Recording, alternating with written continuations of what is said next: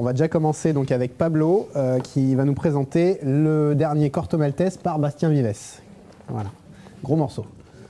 Alors, je tenais à en parler parce que c'est quand même un, événement. En fait, un nouveau Corto, c'est quand même c'est quelque chose qui n'arrive pas tous les jours.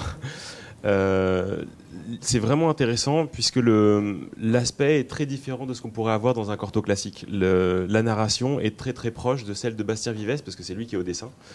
Et au, scénario, euh, c'est on sent que les personnes qui l'ont écrit et qui l'ont dessiné aiment profondément le personnage et les personnages d'ailleurs parce que Rasputin est vraiment proche du Rasputin qu'on peut avoir dans les, les cortos de Pratt.